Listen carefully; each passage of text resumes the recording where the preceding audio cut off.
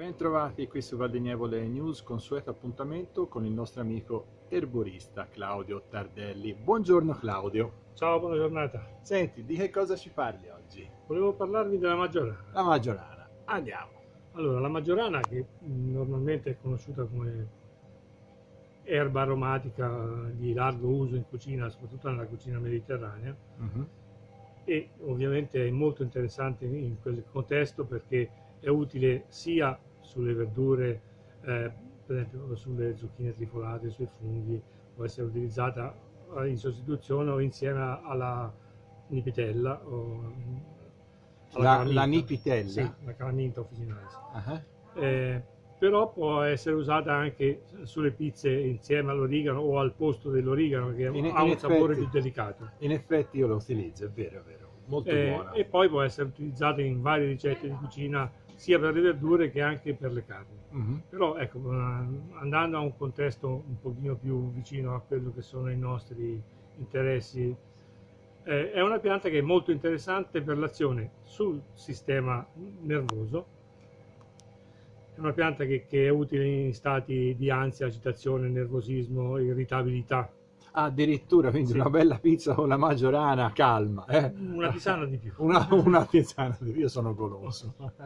Poi eh, può essere utilizzata per eh, i problemi eh, dell'apparato digerente, soprattutto le cosiddette distonie neurovegetative, quindi i disturbi dell'apparato digerente legati a tensione, a, a stati d'ansia ah. che bloccano la digestione.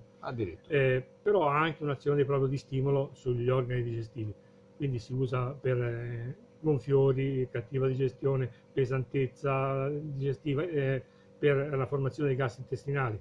Addirittura. È una pianta che può essere usata anche nei legumi per eh, favorire la digestione.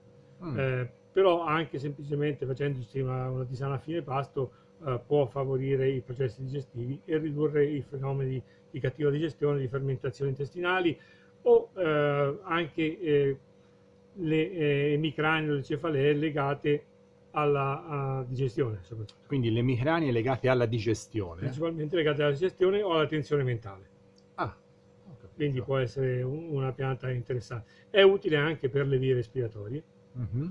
perché è, è, utile in caso di eh, raffreddori, sinusiti, eh, per le mh, mm, vie respiratorie basse, mh, mm, bronchiti, eh, catarri bronchiali, ha un'azione sedativa sulla tosse, soprattutto l'olio essenziale.